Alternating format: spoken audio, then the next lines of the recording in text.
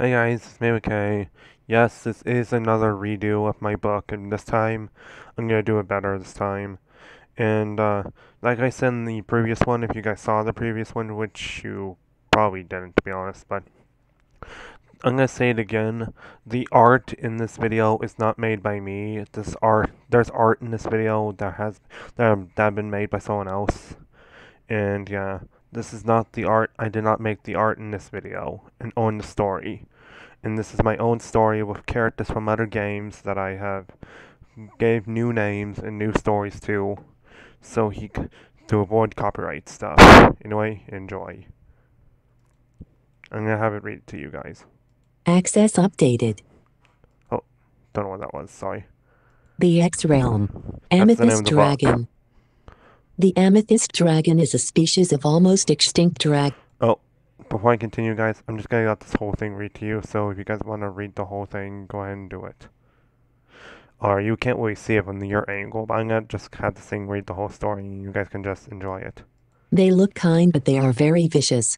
Although they seem kind hearted at first. If they were to be tamed by the wrong person, they can be an ultimate weapon of destruction. And the powers are breathing intense fire. They also have magic capabilities. And they can fly very fast. And when this dragon eats a fairy, it can travel through time and space. And they can also control other elements. Aspire, you know the deal. The special thing about it is, when it's when he gathers all the heat in his body, it can blast a fire blast powerful enough to mount metal. This dragon is very strong. Luckily, there not that many left, well, sort of. The Devourer Devourosaurus. This is the Devourosaurus. This is an ancient species of dinosaurs that's been around since when the kingdom of Shrooms was rising. They were normally creatures that were native to that place. Until a lot of them were killed by the amethyst dragons. These species have been at war for centuries, and only a few of them stand living. These dinosaurs has a huge appetite, although they may need like to eat apples, and pretty much almost everything they see. And they may look vicious, but they're actually really nice. They even yet you right on the back of them. And they can stick their tongue out to approximately to 5 to 8 meters. These creatures are nice and kind. Don't be afraid of one if you see it in the wild. As long as you never ever mess with their eggs. Don't ask. Horn King. This is the Horn King. He is the king of the lava realm. He is also one of the seven deadly sins. He is the sins of wrath. His power is almost unstoppable. He can bring fire of almost 100 degrees. He can go inside a shell and act like a shield. With this sin power, he can transform into a great beast. This is his sins from all of the seven deadly sins has a form like this they can transform to. And what's interesting about this form is that his power grows immensely. His fire gets sort of harder. The fire turns blue and it can go up to 400 degrees. He can destroy an entire castle with one fire breath. His only weakness he is very weak to cold environment. In this just shows he is one of the most powerful beings in the X realm. Fuzzy. This is Fuzzy. She may not seem like it, but he is actually one of the seven deadly sins. Isn't it obvious he is gluttony? Now I know Horn King was evil. But Fuzzy here is actually really nice. She makes sure everything is alright. And she's incredibly kind. She's also the queen of the realm of mythical creatures. Although the only quite threatening thing about her is her appetite she once consumed an entire army of men. Of course, the men were trying to kill her because her fur is really rare. But she shows anyone who's boss when she meets a threat.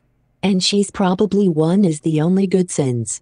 And because of that, she no longer has access to her sin form. But she is still kind and sweet. Just don't make her hungry. Terror. This is Terror. He is a pterodactyl species. And he's the only one of his kind. But he's still a very bad force to be working with. And he's also the sin of greed. And like the others, he also has a sin form. When he's in this form, he is very powerful.